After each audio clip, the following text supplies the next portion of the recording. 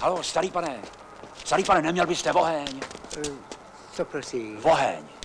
A jo, ano, ano, pane. Malý moment, hned to bude. Dneska je docela sympatický večer, že?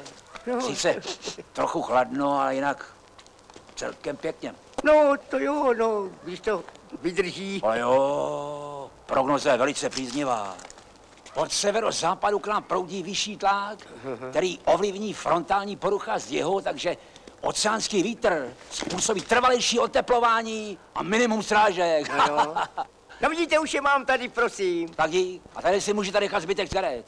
Ale já kořím fajfku. A, to dobrý, Ale, to je dobrý. Halo, pane, počkejte.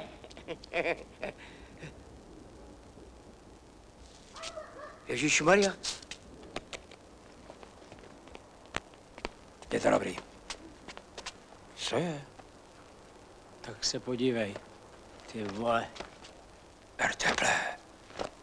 Do prkínka. Ty seš teda Al Capone. Dej to sem. Hmm. Halo, starý pane, počkejte. Jestli nedáte aktovku, tady je. Je, je, je, je, vy jste, vy jste ji našel? A kde byla? Ale nějaký syčák vám ji ukrát. Chytil jsem ho tamhle za rohem.